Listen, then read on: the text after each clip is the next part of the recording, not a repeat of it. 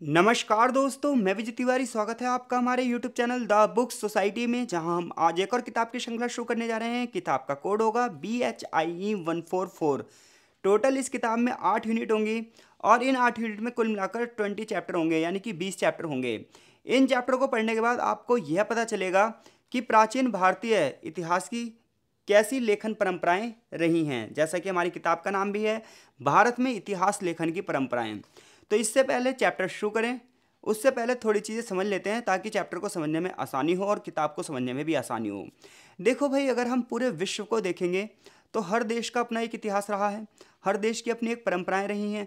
हर एक देश सांस्कृतिक रूप से, सामाजिक रूप से एक दूसरे से भिन्न रहा है। तो ऐसे में हर एक देश की ऐतिहासिक परंपरा भी अलग है। तो ऐसे में इस किताब में हम भारत की ऐतिहासिक परंपरा की बात करने जा रहे हैं। अब प्रश्न ये उठता है कि भारत का इतिहास शुरू कहाँ से होता है? अगर हम अलग अलग देशों की बात करें तो अलग अलग देश अपने अपने इतिहास की शुरुआत के लिए एक मानक तिथि का, एक मानक डेट का अध्ययन करते हैं कि हाँ भाई, इस डेट से हमारा इतिहास शुरू हुआ है। लेकिन बात ये आती है कि जब हम भारतीय इतिहास का अध्ययन करते हैं तो हमें वो एक निश्चित तारीख नहीं पता चलती कि हमारी उत्पत्ति कहाँ से हुई है, कैसे हुई है। हाँ कुछ धार्मिक ग्रंथ हैं जिनके माध्यम से इन चीज़ों का वर्णन किया जाता है। तो ऐसे में प्रश्न ये उठता है, क्या भारतीय इतिहास पर जो है पूरी तरीके से विश्वास किया जाए? ये चीज़ इस चैप्टर में हमें बताने वाला है, इस चैप्टर में हमें यही चीज़ बताई जाएगी। जैसा कि चैप्टर का नाम ही आप देख रहे हैं, क्या है? इतिहास क्या है? तो आपको इस चैप्टर में यही पता चलने वाला है कि इतिहास क्या है और इतिहास लेखन की क्या क्या विशेषताएँ हैं।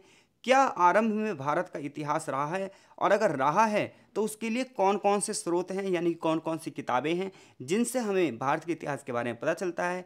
इतना ही नहीं हम उन चीज़ों के बारे में भी अध्ययन करने वाले हैं, जो ऐतिहासिक परंपराओं में लिखी गई हैं। सबसे पहले चैप्टर की एक प्रस्तावना शुरू होती है, और ये प्रस्तावना हमें कुल मिलाकर ये बताना चाहती है कि इस पूरे के पूरे चैप्टर में हम क्या पढ़ेंगे। तो पहले ही चैप्टर की प्रस्तावना है तो थोड़ा सा हम इस पर गौर करते हैं। इससे पहले प्रस्तावना शुरू करें, हम ये जान लेते हैं कि इतिहास क्या होता है। तो फाइनल ईयर में स्टूडेंट्स हैं तो मोस्टली स्टूडेंट्स को ये तो पता ही होगा कि इतिहास क्या है। लेकिन फिर भी हम यहाँ डिस्क्राइब करते हैं कि इतिहास क्या है तो अलग अलग व्यक्ति इसकी अलग अलग परिभाषा दे सकते हैं। लेकिन फिर भी सबसे जो शुद्ध परिभाषा मानी जाती है, वो ये मानी जाती है कि अब तक जितनी भी घटनाएँ घटित हुई हैं, इतिहास विषय के अंतर्गत अब तक जितनी भी घटनाएँ घटित हुई हैं या फिर उनसे संबंधित होने वाली जितनी भी घटनाएँ हैं, जब उसका हम एक टाइम के हिसाब से, काल के हिसाब से वर्णन करते हैं, एक ऑर्डर के हिसाब से वर्णन करते हैं तो हम ये कहते हैं वो इतिहास होता है। यानी कि समय से पूर्व जितनी भी घटनाएँ घटित हुई हैं, उन सभी घटनाओं को जब हम क्रमवार तरीके से, एक ऑर्डर वाइज तरीके से कहीं पर लिखते हैं, कहीं पर उसे इकट्ठा करते हैं तो वो चीज़ ऐतिहासिक घटनाओं में आती है। जो आज है, वो कल इतिहास होगा, और जो कल होगा, वो परसों इतिहास होगा। यानी कुल मिलाकर अगर हम साधारण से साधारण शब्दों में समझें तो इतिहास का अर्थ क्या है? इतिहास का अर्थ यह है कि अब तक जितनी भी घटनाएँ हुई हैं, उन घटनाओं का अपना कुछ महत्व है। उस महत्व के हिसाब से अलग अलग तरीके से उसे वर्गीकृत किया गया है, वो भी एक टाइम पीरियड के ऑर्डर के हिसाब से। इस आधार पर भारत के इतिहास की बात की जाए तो प्राचीन काल मध्यकाल और आधुनिक काल के हिसाब से भारत का इतिहास बांटा जाता है।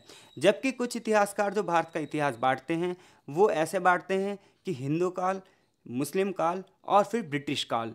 तो ऐसे में अलग अलग लोगों की अलग अलग विचारधारा होती हैं और वो इतिहास को अलग अलग नज़रियों से देखते हैं। अब देखो हमारे चैप्टर की प्रस्तावना क्या कहती है।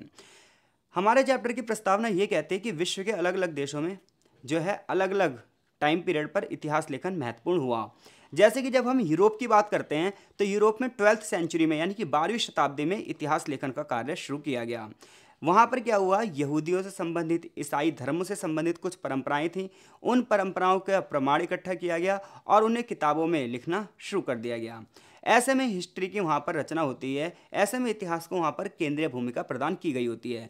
तो आप किसी भी देश का इतिहास पढ़ लो, शुरुआत जो होगी हमेशा वहाँ पर धर्म से होगी, क्योंकि प्राचीन काल में पूरे के पूरे विश्व में जो था, धर्म का वर्चस्व था, धर्म का दबदबा था। ऐसे में शुरुआत धर्म से ही होगी और उसके बाद धीरे धीरे समाज, कबीलाई व्यवस्था में और फिर राज व्यवस्था में वर्णित किया जाएगा। और फिर हम ये पढ़ेंगे कि किसी क्षेत्र की अगर सामाजिक व्यवस्था है तो ऐसे क्यों है और लेखक ने उस पर इतना विचार क्यों दिया है।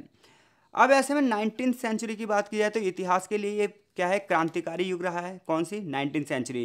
क्योंकि नाइनटीन सेंचुरी में उन्नीसवीं शताब्दी में इतिहास को किसी भी सभ्यता के केंद्रीय तत्व के रूप में देखा जाने लगा कि भाई ये सभ्यता है तो वहाँ के लोगों के कल्चर क्या था? वहाँ के लोगों का रहन सहन क्या था? इन सब चीज़ों पे खोज होने लगी दबा के। और ऐसे में हम टेक्निकल रूप से भी थोड़ा थोड़ा आगे बढ़ रहे थे, इसलिए हमें बहुत सारी सभ्यताओं का ज्ञान भी होने लगा। तो इस प्रकार से अगर एक लाइन की बात की जाए तो ये पता चलता है कि कोई भी सभ्यता जो थी वो इतिहास भी नहीं थी।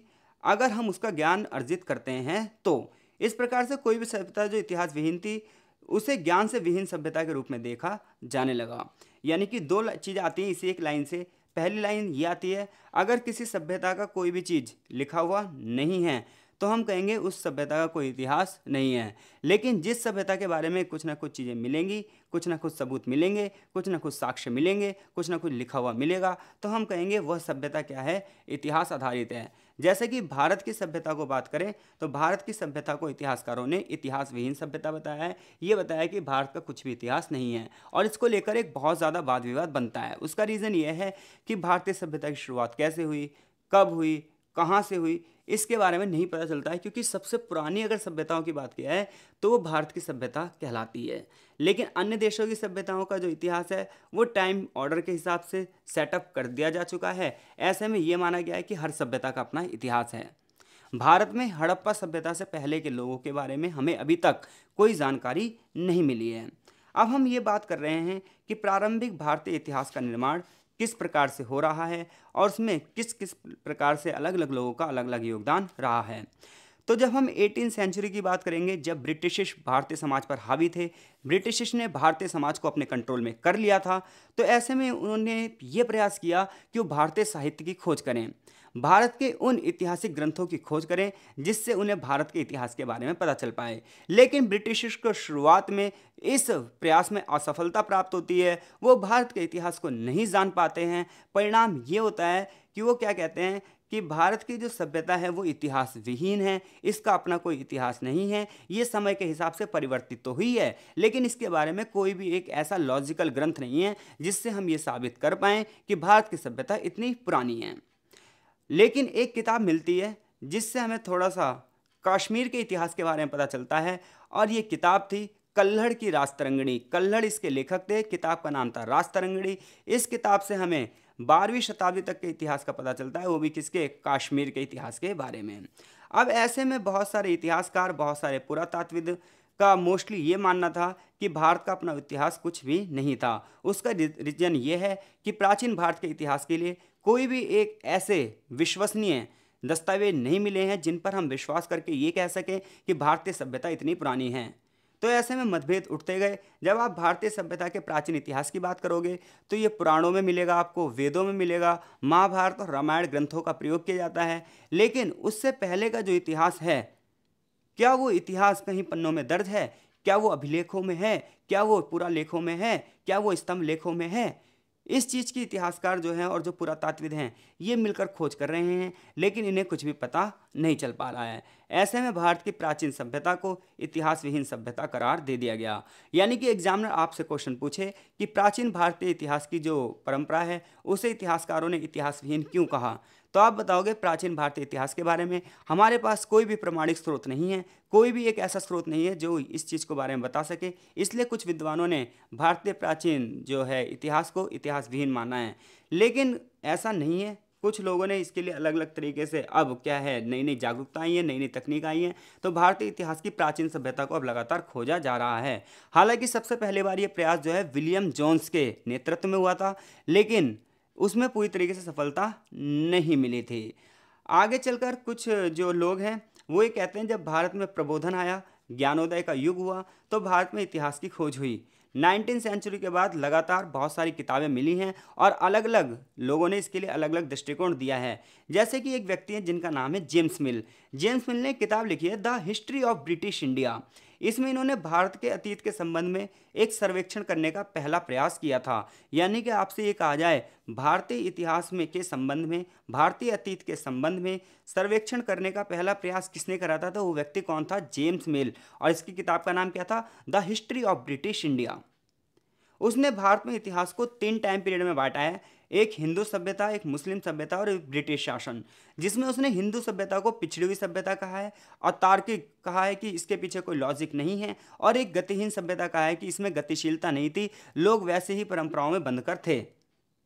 आगे चलकर हीगेल जैसे जो विचारक थे, इन्होंने भी इस मान्यता को स्वीकार कर लिया कि जो हिंदू सभ्यता थी वो पिछड़ी हुई है, लेकिन इन लोगों को इसके बारे में कोई जानकारी नहीं मिल पाई, इसलिए इन्होंने ऐसा कह दिया।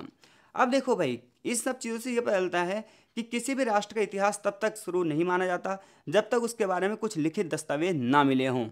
जब किसी समाज का लिखित दस्तावेज़ पाया जाता है तो हम ये कह देते हैं कि हाँ भाई, इस समाज का इतिहास इतना पुराना होगा।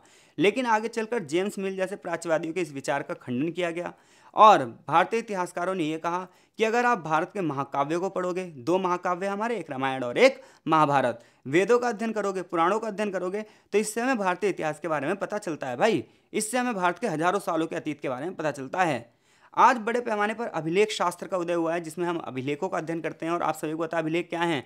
तो प्राचीन काल पे पत्थरों में और धातुओं पर जो लेख लिखे जाते थे, वो अभिलेख कहलाते थे। आज बड़े पैमाने पर खुदाइयों में ऐसे अभिलेख मिले हैं। अभिलेखों से ही हमें मौर्य साम्राज्य के बारे में पता चला है। इसी प्रकार से मुद्रा शास्त्र, जिसमें हम मुद्राओं का अध्ययन करते हैं बहुत सारी खुदाइयों में टीले के नीचे हज़ारों लाखों की संख्या में जो है सिक्के मिले हैं। सप्तवाहन राजाओं के बारे में प्राचीन जो इतिहास है, वो हमें सिर्फ़ और सिर्फ़ किससे पता चल रहा है? सिक्कों से पता चल रहा है। और पुरातत्व पुरातत्व बड़े पैमाने पर जो है खुदाई कार्य करवा रहे हैं, उत्खनन कार्य करवा रहे हैं, जिनसे हमें बहुत सारी प्राचीन सभ्यताओं के बारे में पता चला है, जैसे कि हड़प्पा सभ्यता के बारे में पता चला है भारत की। तो अगर हम अभिलेख शास्त्र का अध्ययन कर रहे हैं मुद्रा शास्त्र का अध्ययन कर रहे हैं, पुरातत्व का अध्ययन कर रहे हैं, जो कि वर्तमान में बड़े पैमाने पर अपना अपना वर्क कर रहे हैं क्योंकि तकनीक में क्रांति आ चुकी है। तो ऐसे में इन स्रोतों ने भारतीय इतिहास के पुनर्निर्माण में एक बहुत बड़ा योगदान दिया है। जैसा कि 1960 के दशक तक भारतीय इतिहासकारों ने हड़प्पा सभ्यता के बारे में लगभग बहुत सारी जानकारियाँ प्राप्त करी हैं। इसी प्रकार से बहुत सारे नाम यहाँ लिए जाते हैं, जैसे कि D D Kosambi. D D Kosambi की बात कर लो, चाहे अन्य मार्क्सवादी इतिहासकारों की बात कर लो, इन्होंने जो रिसर्च किए हैं भारत में इसके एक बहुत बड़ा योगदान दिया है भारतीय इतिहास के पुनर्निर्माण में। ऐसे एक व्यक्ति थे वी एस, वैसे इनका नाम पूरा था वी एस सुखथांकर इनकी एक किताब थी एशियंट हिस्टोरियस ऑफ़ इंडिया जिसमें इन्होंने बहुत सारी चीज़ों के बारे में बताया था। इन्होंने बताया था भारत में इतिहास की जो शैली थी ना, वो चरित शैली थी। वंशावलियों का वर्णन किया गया था। चरित शैली में क्या होता है? चरित शैली में ये होता है कि एक कवि होगा और वो अपने राजा की प्रशंसा में एक पूरी पूरी किताब की रचना कर देगा, जैसे कि हर्षचरित, जिसमें राजा हर्षवर्धन के बारे में पूरी तरीके से लिखा गया था। तो प्राचीन भारतीय इतिहास के स्रोतों को पढ़ोगे तो जो चरित्रों को पढ़ोगे तो उससे हमें वंशावली के बारे में पता चलेगा कि, कि किसी वंश का संस्थापक कौन था और आगे चलकर उसमें कौन कौन राजा हुए हैं। तो इस प्रकार से हम प्रारंभिक भारतीय इतिहास का जब निर्माण का अध्ययन करते हैं तो हमें ये पता चलता है कि कुछ लोगों का जो विचार है वो ये है कि भारत की सभ्यता जो है इतिहास विहीन सभ्यता है गतिहीन सभ्यता है इसका अपना कोई ऐतिहासिक साक्ष्य नहीं है लेकिन वर्तमान में जो बहुत सारी खोजें हो रही हैं इससे ये बात सिद्ध हो जाती है कि प्राचीन भारतीय इतिहास का भी कुछ इतिहास रहा है। हाँ ये जो ब्रिटिश है, ये नहीं पढ़ पाए तो इसमें हमारी क्या गलती आगे चलकर जब भी हम इतिहास की बात करेंगे तो एक बहुत बड़ा हमारे सामने नाम आएगा, और वो नाम आएगा रोमिला थापर का। रोमिला थापर का नाम हम लगातार यहाँ पढ़ते रहेंगे। अब मुद्दा ये उठता है कि ऐतिहासिक परंपरा क्या है। तो जब समाज अतीत के संबंध में किसी प्रकार का जब हम ज्ञान धारण करते हैं तो ऐतिहासिक परंपराओं का सृजन होता है। यानी कि किसी भी समाज के इतिहास के बारे में जब हम ज्ञान धारण करते हैं, ये सोचते हैं, ये पता लगाते हैं कि वो समाज कैसा था उस समाज की अर्थव्यवस्था कैसी थी, वो समाज किन परंपराओं को मान्यता था। तो हम ऐतिहासिक परंपराओं का निर्माण करते हैं और ये समय और परिस्थितियों के हिसाब से अलग अलग होती है। ऐसे में किसी भी समाज की ऐतिहासिक जो परंपराएँ होती हैं, उसमें भैया तीन तत्व होते हैं। पहला तत्व ये होता है कि अतीत की घटनाओं का जो अध्ययन कर रहा है, उस इतिहासकार की सोच क्या है? क्योंकि जिस इतिहासकार की जैसी सोच होगी, वो इस हिसाब से इतिहास को लिखेगा, जैसे कि एक इतिहासकार था बर्नियर। बर्नियर वैसे एक यात्री था, बर्नियर ने पता क्या बताया? बर्नियर ने यह बताया कि भारत की जो कृषि थी, वो बिल्कुल क्या थी? बकवास थी, जबकि अन्य जो लेखक है, वो कहते हैं भारत एक कृषि प्रधान देश था। मुगल काल के टाइम पे वो ये बोल रहा है, बर्नियर, कि भारत का जो कृषि व्यवस्था है, वो बिल्कुल बेकार है जो खेत है, वो दलदल से भरे हुए हैं, किसान दरिद्र है। जबकि वहीं अबुल फजल की किताब उसी टाइम पीरियड के बारे में बताती है कि मुगल काल में टैक्स का जो बहुत बड़ा स्रोत था, वो किससे आता था? केवल और केवल कृषि से आता था। तो ऐसे में ना, पहली चीज़ ये बताती है कि जब हम ऐतिहासिक परंपरा का अध्ययन करते हैं तो हमें ये देखना चाहिए, इतिहासकार की चेतना क्या रही है? इतिहासकार की सोच क्या रही है, वो विषयों को किस प्रकार से देखता है? दूसरी चीज़ ये रहती है ऐतिहासिक परंपरा में कि घटनाओं को किस प्रकार से टाइम ऑर्डर के हिसाब से व्यवस्थित किया जाता है। क्योंकि देखो, जब भी हम इतिहास को बिना टाइम ऑर्डर के व्यवस्थित करेंगे बिना कालक्रम के व्यवस्थित करेंगे तो पता क्या होगा? घटनाएँ हौच पहुँच जाएँगी, घटनाएँ गड़बड़ हो जाएँगी। लेकिन हम एक टाइम पीरियड के हिसाब से लें कि सेवन्थ सेंचुरी में ये हुआ एट्थ सेंचुरी में ये हुआ नाइन्थ सेंचुरी में ये हुआ टेंथ सेंचुरी में ये हुआ। इस समय ये राज शासक था शासक था, इस समय ये शासक था, इस समय ये शासक था। इस बंदे ने क्या काम किया, इस बंदे ने क्या काम किया? तो हमें एक सिलसिलेवार तरीके से इतिहास के बारे में पता चलता है। तो ऐतिहासिक परंपरा में क्या है? ऐतिहासिक परंपरा में ये है कि जब हम किसी समाज के अतीत का ज्ञान अर्जित करते हैं, ज्ञान प्राप्त करते हैं तो क्या कहलाती है? ऐतिहासिक परंपरा कहलाती है। ऐतिहासिक परंपरा में हमें कितने तत्व मिलते हैं? तीन तत्व मिलते हैं। पहला, कि इतिहास की घटना का वर्णन जो कर रहा है, उस इतिहासकार की चेतना कैसी है? वो चीज़ों को किस प्रकार से समझ रहा है? किन घटनाओं को महत्वपूर्ण समझ रहा है? और किन घटनाओं को नज़रअंदाज कर रहा है? दूसरी बात यह है कि हमें इतिहास के तीसरा, दूसरा तत्व जो है, परंपरा का वो पता चलता है कि घटनाओं को ऑर्डर वाइज किस प्रकार से सेटअप किया गया है। और तीसरी चीज़ ये है कि जितनी भी घटनाएँ हैं वो समाज की आवश्यकताओं के हिसाब से ही दर्ज होनी चाहिए। फालतू चीज़ों को इतिहास में नहीं लिखा जाता है। तो ऐतिहासिक परंपरा के घट, जो तत्व होते हैं कितने तत्व होते हैं? तीन तत्व होते हैं। पहला तत्व कौन सा है? ऐतिहासिक चेतना, यानी कि इतिहासकार जो है, उसकी सोच क्या है? उसका नज़रिया क्या है? दूसरा, टाइम ऑर्डर। और तीसरी बात क्या है? तीसरी बात यह है कि समाज की उस समय की आवश्यकता क्या थी? और वो समाज उन आवश्यकताओं को पूरा कैसे करता था? तो ऐतिहासिक परंपराओं में प्रमाणिक घटनाओं को दर्ज किया जाता है। यानी कि जो चीज़ें प्रमाणिक हो चुकी हैं, उनका घट, उनका वर्णन किया जाता है। लेकिन कई बार इतिहास में कुछ घटनाएँ ऐसी भी होती हैं, जिनका सच्चाई से कोई लेना देना नहीं होता, जिनके बारे में कोई भी प्रमाण नहीं होते। तो ऐसे में जब हम ऐतिहासिक परंपराओं की बात करते हैं तो उसमें कुछ निश्चित तत्व दिखाई देते हैं, कुछ निश्चित संकेतक दिखाई देते हैं। जैसे ही कोई समाज किसी बिंदु पर कैसे था उस परंपरा के रखवाले कौन थे? उस परंपरा में शासक कौन था? उस परंपरा में व्यापार कैसा होता था? साहित्य का निर्माण था या नहीं था? यानी कि लेखन परंपरा थी या नहीं थी? इसके साथ साथ समाज था तो कैसा था? सुनने वाले लोग कैसे थे? देखने वाले लोग कैसे थे? और इसके अलावा अगर सुनने वाले लोग थे तो उन्हें सुनाता कौन था? सामाजिक समूह जो था, वो कैसी संस्कृति में था? जैसे कि, जब आप हड़प्पा सभ्यता के बारे में आपने पढ़ा होगा तो हड़प्पा सभ्यता में आप किस, क्या पढ़ोगे सबसे पहले? कि वहाँ के लोग कैसे रहते थे? क्या खाते थे? क्या पीते थे? कौन सा शासक उन पर शासन करता था? इतना ही नहीं, हम ये भी अध्ययन करने की कोशिश कर रहे हैं कौन सी धार्मिक परंपराओं को मानते थे? कैसे कपड़े पहनते थे? ये सब ऐतिहासिक परंपराओं में अध्ययन किया जाता है। कई बार चीज़ों के बारे में पता चल पाता है और कई बार नहीं भी पता चल पाता। अब ये मुद्दा उठता है कि ऐतिहासिक परंपरा की ओर हम कैसे जाएँ? जब हम भारत के अतीत का अध्ययन करते हैं तो ये बताया जाता है कि भारतीय अतीत में जो ऐतिहासिक परंपराएँ हैं, वो तीन परंपराएँ रही हैं। पहली है पौराणिक परंपरा, दूसरी है श्रमणिक परंपरा और तीसरी है चारण परंपरा। जब हम पौराणिक परंपरा की बात करते हैं तो हम पुराणों का अध्ययन करते हैं। देखो, पुराणों का मतलब ये मत सोचना कि इससे हमें सिर्फ़ धर्म के बारे में पता चलता है। पुराणों से हमें प्राचीन काल के बहुत सारे राजाओं की वंशावलियों का भी पता चलता है कि किस वंश ने किस समय पर शासन किया होएगा।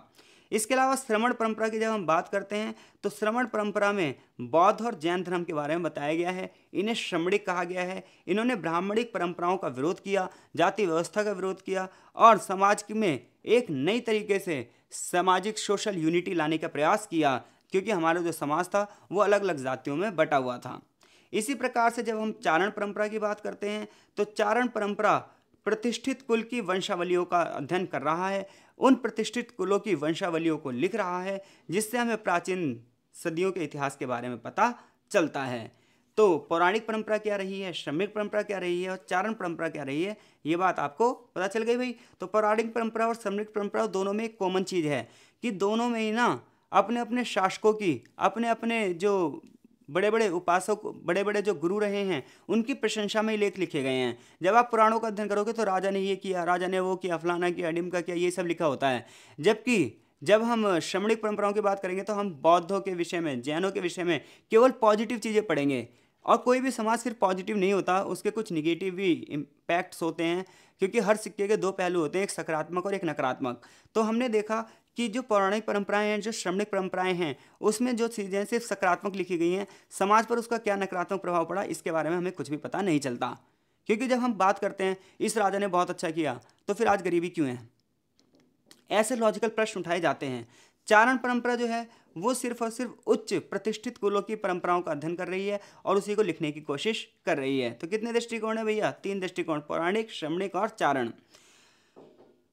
आगे चैप्टर में जो बताया गया है, वो ये बताया गया है कि प्रारंभिक भारत में अगर हम अतीत के प्रति दृष्टिकोण देखें तो उसका अध्ययन हम कैसे करें? जो हमारा शुरुआती भारत है, उसमें अतीत के प्रति कितने दृष्टिकोण हैं और उसका पाठ्यांकन उसको लिखा कैसे गया है और उसे पढ़ते हुए हमें किन किन चीज़ों का ध्यान रखना चाहिए? तो देखो, प्राचीन काल के इतिहास को जब भी आप अध्ययन करोगे, ना सिर्फ़ भारत के, बल्कि मैं कह रहा हूँ, हर किसी देश के इतिहास का जब भी आप अध्ययन करोगे तो इसमें एक चीज़ ध्यान रखना, इतिहास को पढ़ते हुए ना हमें दो चीज़ ध्यान रखनी चाहिए कि इतिहास जो है वो इमेजिनेशन पर आधारित हो सकता है और नहीं भी। इतिहास कल्पनाओं पर आधारित भी हो सकता है और नहीं भी, क्योंकि कोई चीज़ मिली तो उसके लिए इतिहासकार पुरातात्विक क्या करेंगे? एक इमेजिनेशन करेंगे, ये चीज़ इसलिए शायद यूज़ होती होगी और वो ऐसे बता देंगे। लाइक डेट मैं आपको बताता हूँ। जैसे मान लो कोई एक क्षेत्र है, पूरी तरीके से भूस्खलन में नीचे दब गया। अब क्या होगा? वहाँ से मान लो कुछ किताबें मिली, कुछ बच्चे मिले तो वो ये बोल देंगे, यहाँ पर एक स्कूल था। लेकिन कोई ज़रूरी थोड़ी वो स्कूल था। हो सकता है कि एक आंगनबाड़ी हो हो सकता है कि एक कोचिंग सेंटर हो। तो इतिहास को पढ़ते वक्त और इतिहास को समझते वक्त हमें कुछ चीज़ों का ध्यान रखना चाहिए। उनमें से पहला ध्यान रखना चाहिए कि वो कल्पनाओं से भरा भी हो सकता है और हो सकता है वो कल्पना से ना भरा हुआ हो। दूसरी बात हमें ये देखना चाहिए कि इतिहास लिखने वाले का दृष्टिकोण क्या है। वो किन चीज़ों को वरीयता दे रहा है और किन चीज़ों को वरीयता नहीं दे रहा है। क्योंकि अगर आप एक ही सोच से इतिहास का अध्ययन करोगे तो आप इतिहास का तो अध्ययन कर लोगे, आप क्वेश्चन का तो आंसर दे दोगे, लेकिन आपकी अपनी कोई सोच नहीं बन पाएगी। आप एक ना अंधभक्ति की राह पर चल सकते हो, आप ना गलत को गलत और सही को सही नहीं कह पाओगे। तो अतीत की चेतना समाज के भीतर का जो अध्ययन है, वो जो है इतिहासकार के एक महत्वपूर्ण कार्य है कि वो अतीत को किस नज़रिए से देखता है। जैसे कि प्रारंभिक भारत के अतीत का जब अध्ययन किया जाता है तो ऐसे में क्या किया जाता है? हर एक जो इतिहासकार है, वो अलग अलग तरीके से इसे लिख रहा है, इसलिए बहुत सारे दृष्टिकोण आ जाते हैं। कोई इतिहास कह रहा है, भारत के इतिहासकार जो, कोई इतिहासकार कह रहा है कि भारत का जो इतिहास है, वो इतिहास विहीन है, उसका अपना कोई इतिहास नहीं है, इसकी शुरुआत कहाँ से नहीं पता? जबकि कुछ लोग कह रहे हैं, नहीं, भारत की सभ्यता सबसे पुरानी है, आप वेदों का अध्ययन कीजिए, पुराणों का अध्ययन कीजिए। तो इतिहास का इस्तेमाल जब हम इतिहास का अध्ययन करते हैं, ऐतिहासिक परंपराओं का अध्ययन करते हैं तो हमें कुछ चीज़ें ध्यान में रखनी चाहिए। पहली चीज़ कि इतिहास का इस्तेमाल किस लिए किया जा रहा है तो मोस्टली आप हिस्ट्री का अध्ययन करोगे, ना सिर्फ़ भारत की बल्कि किसी भी देश की। तो आपको ये पता चलेगा कि ज़्यादातर इतिहास का निर्माण इसलिए किया जा रहा है कि जो सत्ताधारी वर्ग है, जो शासक वर्ग है, जो शासन कर रहा है, जो राजा है, वो किस प्रकार से अपने क्षेत्र का शासन कर रहा है और वो लीगल तरीके से कैसे सत्ता का प्रयोग कर रहा है। अधिकांश आरंभिक ऐतिहासिक साक्ष्यों में हमें यही पता चलेगा। दूसरी चीज़ ये है कि जो कम्युनिटी है, वो किन परंपराओं को फॉलो कर रही है? तीसरी चीज़ हमें ये ध्यान रखना, अध्ययन करना चाहिए कि इतिहास का मतलब सिर्फ़ ये नहीं है कि अतीत को किसी एक दृष्टिकोण से देखें, बल्कि इसका मतलब ये है कि उस समय इतिहासकार को कौन सी चीज़ें महत्वपूर्ण लगी जिसको उसने दर्ज किया। चौथी बात यह है कि हमें इतिहास को ना समकालीन संदर्भ में रखकर देखना चाहिए कि अगर पहले की जो परंपराएँ थी, क्या वो आज की परंपराओं से मेल खा रही हैं? तो हमें इससे पता चलता है कि इतिहास कितना पुराना है। पांचवी चीज़ ये है कि जब हम इतिहास में विचारों का अध्ययन करते हैं, घटनाओं का अध्ययन करते हैं तो हमें उसका एक समय भी सेट करके रखना चाहिए कि जैसे पहली शताब्दी में ये शासक यहाँ था तो उसका किससे व्यापारिक संबंध था, जिससे व्यापारिक संबंध था, वहाँ का शासक कौन था? तो इन सभी चीज़ों का अध्ययन करके जब हम, इन सब चीज़ों का ध्यान रखकर जब हम इतिहास का अध्ययन करते हैं तो चीज़ें हमारे लिए थोड़ी सी क्या हो जाती हैं, आसान हो जाती हैं। तो अब तक हमें ये पता चल चुका है कि विभिन्न प्रकार की ऐतिहासिक परंपराएँ क्या रही हैं? तो विभिन्न प्रकार की अगर ऐतिहासिक परंपराओं की बात करो भारत में तो पौराणिक परंपराएँ रही हैं और श्रमणिक परंपराएँ रही हैं और चारक परंपराएँ रही हैं। लेकिन जब इन परंपराओं के अंदर और गहराई से हम अध्ययन करते हैं तो हमें समाज के बारे में पता चलता है। जैसे कि पौराणिक परंपराओं से हमें ये पता चलता है कि शुरुआत का समाज कैसा था। तो शुरुआत के समाज में नायक प्रधान था। नायक मतलब होता है कि एक सैनिक था, जो कि पूरी तरीके से क्षेत्र को कंट्रोल करता था। लेकिन आगे चलकर जो समाज हो गया, वो कुल आधारित हो गया, वंश आधारित हो गया और फिर धीरे धीरे करके राज व्यवस्था की उत्पत्ति हो गई और एक ही शासक को सारे अधिकार मिल गए। अब वो प्रजा से भेंट वसूल करता था। जब आप प्राचीन समय में शुरुआत करोगे तो देखो प्राचीन समय में पहली बात तो कोई राजा था नहीं। शुरुआत होती है एक व्यक्ति से, जो कि एक कबीले का सरदार होगा। फिर वंश आधारित व्यवस्था शुरू हो जाएँगी, सैन्य आधारित व्यवस्था शुरू हो जाएँगी और फिर एक पॉलिटिकल सिस्टम बन जाएगा, फिर एक शासक बन जाएगा और शुरुआत में लोग सिर्फ़ ना दान देंगे, भेंट देंगे और राजा सिर्फ़ दान लेगा और भेंट लेगा और इस प्रकार से वो अपना और अपने समाज को चलाएगा। लेकिन आगे चलकर ये जो राजा हैं, ये बहुत ज़्यादा विकसित हो जाएँगे, बहुत ज़्यादा शक्तिशाली हो जाएँगे और ये लोगों से राजस्व यानी कि टैक्स की वसूली करने शुरू कर देंगे। ऐसे में जब हम ऐतिहासिक परंपराओं का अध्ययन करते हैं तो अलग अलग लोगों का कुछ अलग अलग दृष्टिकोण होता है, उसके कई कारण हैं। जैसे कि जब हम भारत की धार्मिक परंपराओं का अध्ययन करते हैं तो हम सबसे पहले ये देखते हैं कि हमारे धर्म का इतिहास क्या है। लेकिन जब हम भारतीय धर्मों के इतिहास की बात करते हैं तो भारतीय धर्मों के इतिहास के बारे में भैया कोई भी बिल्कुल सटीक विवरण नहीं मिलता। उसका रीज़न ये है, हमारी सभ्यता इतनी पुरानी है कि मोस्टली सभ्यताएँ हमारी जो है, उसके जो ग्रंथ हैं, वो नष्ट हो चुके हैं और जो हैं तो बहुत कठिन भाषा में जिन्हें पढ़ना बड़ा मुश्किल है। जैसे, जब आप क्रिश्चियनिटी की बात करोगे तो उसका अपना एक सन है। उसके बारे में ये है कि हाँ भाई, ये व्यक्ति ईशू का इतिहास यहाँ से शुरू होता है और यहाँ पर ख़त्म होता है। इस्लामिक परंपरा का अध्ययन करोगे तो आप पैगंबर साहब से जो है शुरुआत करोगे और उसके बाद अब तक का अध्ययन आप कर सकते हो। लेकिन जब आप सनातनी परंपरा का अध्ययन करोगे, हिंदुइज्म का अध्ययन करोगे, भारतीय परंपराओं का अध्ययन करोगे तो आपको इतिहास नहीं पता चलता उसका रीज़न ये है कि सबसे पुरानी सभ्यताएँ हैं। सबके एक सन सेट हैं, लेकिन भारतीय जो सभ्यता है, इसका सन नहीं है कोई कि किस ईयर में क्या चीज़ें इस्टेब्लाइज हुई थी।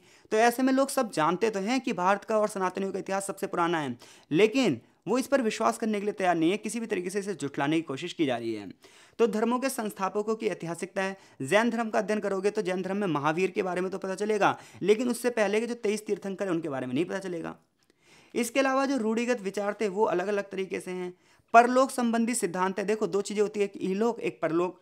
इलोक में इस संसार की बात की जाती है, परलोक में स्वर्ग, नर्क, ऐसी चीज़ों की बात की जाती है। तो ऐसे में जब ऐतिहासिक परंपरा का अध्ययन करते हैं तो हमारे सामने बहुत सारे दृष्टिकोण आते हैं, जिससे कई बार पता क्या होता है, विचारों में भिन्नता पैदा हो जाती है, कई बार मन में आशंका आ जाती है, क्या यार ये चीज़ें हो भी सकती हैं नहीं हो सकती शिक्षा कैसी थी, नगरीय परंपरा कैसी थी, विभिन्न मतों का संप्रदाय कैसा था, ये सारी चीज़ों का अध्ययन हम करते वक्त हमें अपना दिमाग बिल्कुल खुला रखना चाहिए और अलग अलग तरीके से अलग अलग सोचना चाहिए। तो चीज़ें देखो समझ में आ रही हैं तो कमेंट बॉक्स में कमेंट ज़रूर करिए। इसके अलावा देखो, दो तरीके होते हैं पढ़ने और पढ़ाने के। पहला तरीका ये होता है कि बच्चों को खुश किया जाए और आसान आसान तरीके से गुमराह किया जाए। दूसरा तरीका ये होता है कि हम बीए फाइनल में हैं, इसके बाद हमें ग्रेजुएशन की जो है डिग्री मिलेगी और हम ग्रेजुएट हो जाएँगे, शिक्षित हो जाएँगे स्नातकीय हो जाएँगे। तो ऐसे में हमें ये चीज़ें जो हैं, कठिन चीज़ें हैं और इन्हें हमें कठिन तरीके से बढ़ना चाहिए। हमें शब्दों का ज्ञान होना चाहिए। और जो देखो, मेरा पढ़ाने का तरीका वो यही है कि मैं जो है चीज़ों को रियलिटी बेस पर ही पढ़ाता हूँ। हो सकता है आपको चीज़ें टफ मिले, लेकिन मैं चीज़ों को जो है वो बिल्कुल विस्तृत रूप से अध्ययन करवाऊँगा, चाहे लेक्चर कितना ही बड़ा क्यों ना हो जाए। क्योंकि हम किताबों को पढ़ नहीं रहे हैं, सिर्फ़ हमें उसे समझना भी है और हमें अपने एक नज़रिया भी रखना है। तो इसलिए आप जब हमारे चैनल पर पढ़ोगे तो आपको ये चीज़ें ध्यान रखनी है कि हम सिर्फ़ पढ़ने के लिए ही पढ़ा रहे हैं। क्योंकि बहुत सारे लोग व्यूज़ के लिए पढ़ा रहे हैं, बहुत सारे लोग शो ऑफ़ के लिए पढ़ा रहे हैं, बहुत सारे लोग सिर्फ़ चैनलों को चलाने के लिए पढ़ा रहे हैं। बट मेरा उद्देश्य ये नहीं है, वीडियो चाहे कम अपलोड हो, लेकिन जो होनी चाहिए वो क्वालिटेटिव होनी चाहिए। इस चीज़ का भाई ध्यान रखना है। आगे हम ये पढ़ने वाले हैं, इतिहास तथा इसके विभिन्न स्वरूपों के बारे में बताओ तो जब हम अतीत का अध्ययन करते हैं भारत के तो हमने बात कर ली कि हम एक वर्ड यूज़ करते हैं इतिहास और एक वर्ड यूज़ करते हैं पुराण। इतिहास का मतलब हम समझ ही चुके हैं कि ऐसा हुआ है तो क्यों हुआ है, कैसे हुआ है, किसने किया है और आज इसका क्या प्रयोग हो सकता है। इतिहास इसके अलावा एक बहुत बड़ी चीज़ है। इतिहास हमें ये सबक देता है कि अगर प्राचीन काल में कोई चीज़ की गलती हुई है तो उसे हम आज ना दोहराएँ। इतिहास हमें यही बताता है, अगर प्राचीन काल में कोई चीज़ अच्छी रही है तो उसे हमें आगे भी लेकर चलना चाहिए। जबकि हम पुराणों का अध्ययन करते हैं तो पुराण का पुराण का मतलब है पुरातन मतलब जो चीज़ पुरानी रही हो। इस समय प्राचीन समय की कहानियाँ मिलती हैं, प्राचीन समय की घटनाएँ मिलती हैं बहुत सारे मिथक मिलते हैं। मिथक मतलब होता है बहुत सारी चीज़ें ऐसी मिलती हैं जिन पर मतलब हो सकता है उस समय वो सच हो, लेकिन आज के टाइम पे उसे हम झूठ समझते हैं। पौराणिक ग्रंथों से हमें वंशावलियों के बारे में पता चलता है, राजाओं के बारे में पता चलता है, उस समय के जुड़े अनुष्ठानों के बारे में पता चलता है, देवी देवताओं के इतिहास के बारे में पता चलता है। इतना ही नहीं, उनको कौन कौन लोग फॉलो करते थे उसके बारे में पता चलता है। इसी प्रकार से जब आप वेदों के वेदों के बारे में पढ़ोगे तो चार वेद ऋग्वेद, यजुर्वेद, सामवेद अथर्वेद इनके बारे में आप अध्ययन करोगे तो हमें बहुत सारे अनुष्ठानिक महत्व के बारे में पता चलेगा। इतना ही नहीं, हर एक पुराण में अलग अलग गतिविधियों का भी अध्ययन हमें पता चलेगा। हर वेद को पढ़ने के बाद आपको यह पता चलेगा कि सामाजिक परंपराओं में किन किन चीज़ों को कैसे कैसे फॉलो किया जाता था।